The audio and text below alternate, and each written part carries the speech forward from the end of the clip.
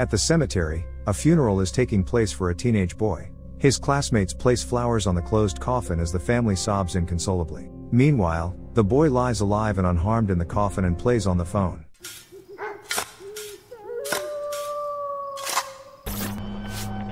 Darren lives a normal life. He is popular among his classmates, is an excellent student, pleases his parents and has many friends. But one person doesn't fit into Darren's regular life and that's his best friend Steve. He invites Darren to skip history class.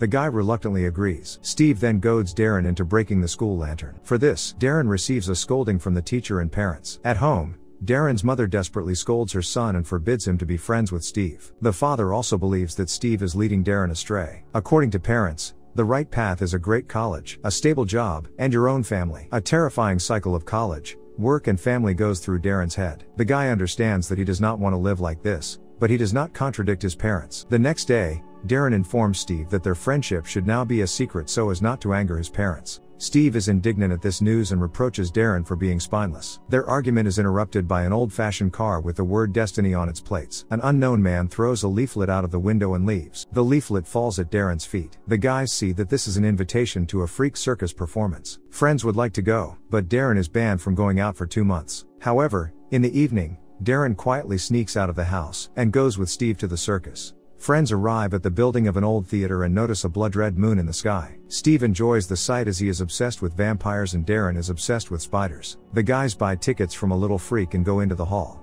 The show starts. The host of the show, with a large, oddly shaped head, announces the entry of the Wolfman. With a roar, the wolfman approaches a woman sitting in the audience. Moments later, the wolf bites off the woman's arm. She screams. The rest of the audience is also scared. The wolfman runs away, and the woman with the bitten off arm walks onto the stage. Her hand immediately grows back, because this artist is the queen of regeneration. The bony Alexander appears next. He has no skin and internal organs in the abdomen. The audience is also entertained by a woman with huge teeth and a man with two stomachs, able to digest any object. Next on the stage is a snake skin guy named Evra, and after that, a spectacular woman, Madame Truska. She invites Darren to be her assistant. From the guy's touch, the woman grows a beard. The hall rejoices. Madame Truska looks into Darren's eyes and sees his future. She senses that something bad is about to happen. Next up is a magician named Larten Crepsley and a spider, Madame Octa.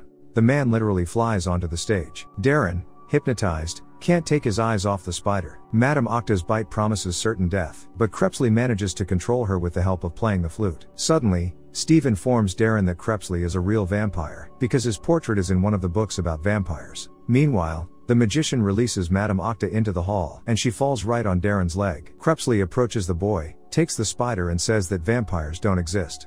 And if someone knew about them, he would be strangled by them in a dream. The performance stops as a crowd of people fighting against freaks enters the hall. Taking advantage of the general confusion, Darren runs backstage. Here he finds Crepsley's dressing room and goes inside. Fascinated by Octa, there is no one in the dressing room, however, there is a coffin here. Darren approaches Octa's cage. He admires the spider and plays the flute for her. Suddenly, voices are heard outside the door. Darren grabs the cage, stuffs it into his bag, and hides in the closet. Crepsley and a friend named Gavner enter the dressing room. From their conversation, it becomes clear that they are vampires. Recently, their friend was killed by the enemies of the vampires, the cruel vampins. Friends also discuss the return of the mysterious Mr. Tiny from another world. Gavner believes that Tiny imagines himself as the arbiter of fate and wants to destroy the vampires with the help of the vampins. Gavner wants to fight the vampins and avenge his friend's death, but Crepsley refuses to go with him. He is categorically against war. At that moment, Steve bursts into the dressing room. He firmly believes that Crepsley and Gavner are vampires. Steve asks to be turned into a vampire too. Crepsley says that upon becoming a vampire he will have to leave family and friends, so this is a bad idea. But Steve complains about his dysfunctional family and insists on being converted. Then Crepsley tastes his blood and immediately spits. Steve has bad blood, he can't be a vampire. The guy gets angry and threatens the vampires with violence. But the men quickly kick him out of the dressing room. Gavner flies away and Crepsley starts looking for Octa. Darren, who has been sitting in the closet all this time, opens the secret door and runs away. He is immediately picked up by a black car. All this happens in front of Crepsley. The same Mr. Tiny and one of the vampins are sitting in the car. Tiny invites Darren to join them, but the guy gets out near his house and runs away from the car. The next day, Darren comes to school, opens his locker and admires Octa. Steve approaches him and discovers the spider. Steve realizes that Darren was in Crepsley's dressing room and heard their entire conversation. At this time, the bell rings for recess. In surprise, Steve drops the cage with Octa. The door opens and the spider walks free. The corridor fills with students, and a deadly spider runs across the floor. Pushing everyone aside, Steve chases Octa with a broom and wants to kill her. Darren runs after Steve and tries to save Octa. The spider senses danger from Steve and bites him on the cheek. The guy loses consciousness, and Octa runs away. Darren decides to help a dying friend and comes to Crepsley for an antidote. But the man calls Darren a juvenile thief and refuses to help him for free. During the conversation, Crepsley realizes that Darren is in terrible danger from Mr. Tiny. Then Crepsley offers Darren a deal. He will turn the guy into a hay vampire and make him his assistant. And in exchange, Crepsley will protect Darren from Tiny and save Steve. The guy is willing to do anything to save his friend, but he doesn't want to kill people. Crepsley explains that it is the vampins who do the killing, not the vampires. After some hesitation, Darren agrees to this scheme. Crepsley performs a blood exchange ceremony. Darren falls to the floor and feels cold. Now he's a half vampire. The guy jumps on Crepsley's back and they fly to the hospital to see Steve. The vampire injects Steve with the antidote. The boy's pulse quickens. Darren tries to drive Crepsley away, but the vampire is not affected by stupid tricks. Soon Steve gets better and even returns to school. And Darren develops a craving for raw meat. He also feels a thirst for blood and almost lashes out at his sister. Crepsley is already waiting for him in the room. He says that Darren will have to leave the family. To do this, it is necessary to stage his death. The guy says goodbye to his family, trying not to scare them. Darren and Crepsley are sitting on the roof. Suddenly, the vampire diverts the boy's attention and wrings his neck. Darren can no longer move. He will live on, but for the time being it is necessary to stage his death. Crepsley throws Darren off the roof and disappears. Everyone believes in the guy's death. On the day of the funeral, Steve approaches a friend's coffin. He puts the phone in Darren's hands and notices he has vampire claws. Steve now considers his friend a traitor. At night, Crepsley comes to the cemetery and digs up Darren's coffin. The guy gets out of the grave.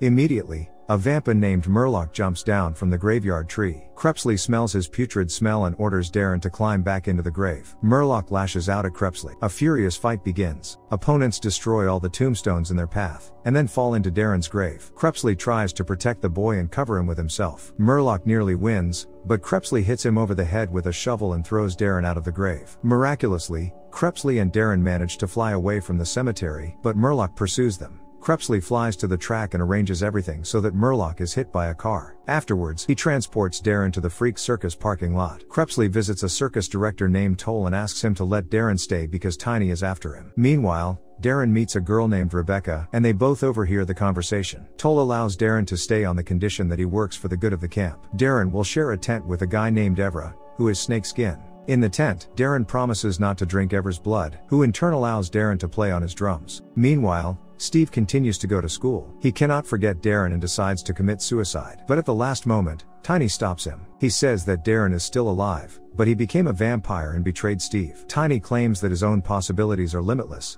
but he lacks an assistant. Steve is just right for the role. In the evening, Mr. Tiny's car drives up to the freak camp. In a conversation with Tall and Crepsley, he announces the imminent start of a war between vampires and vampins. According to the prediction, Two young men will lead the war. Therefore, Tiny demands that Darren be given to him. Tall asks for time to think. The next day, Darren and Rebecca talk sweetly and become closer and closer. Rebecca confesses that she is a monkey girl. She even has a tail, but Darren is not embarrassed. In the evening, Crepsley teaches Darren how to fight as a vampire because he understands the danger that threatens him.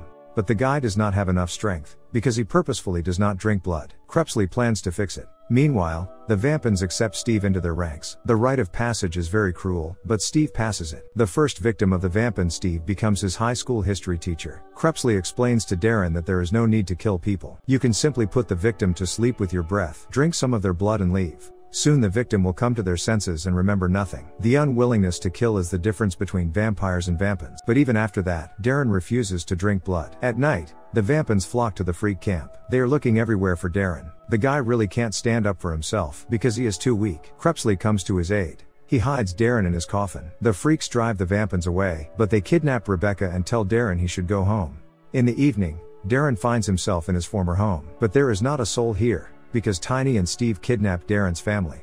The guy understands that his relatives are kept in the old theater, where the circus performed. Murlough meets Darren at the theater. He tied up the guy's family and Rebecca and hung them over the stage. Steve arrives soon after. He talks about the people he has already killed and about the pleasure of this process. Steve offers Darren to kill Rebecca and drink her blood, then his family will be free. After that, Darren will have to join the Vampins. But the guy resolutely refuses the offer. He cannot stand up for himself, because he has not yet drunk blood. But Crepsley had already arrived at the theater. He enters into a fierce fight with Murlough. Mr. Tiny watches with interest, but does not intervene. With the help of her tail, Rebecca frees herself from the rope and hurries to Darren. She offers the guy to drink some of her blood. But Darren is afraid that he will cease to be human after this. Rebecca still convinces the guy to take this step. He drinks blood. The fight between Crepsley and Murlough becomes more and more violent. Steve soon gets into the fray as well and stabs Crepsley with a silver knife. But then empowered Darren, who has drunk blood appears. He attacks Steve.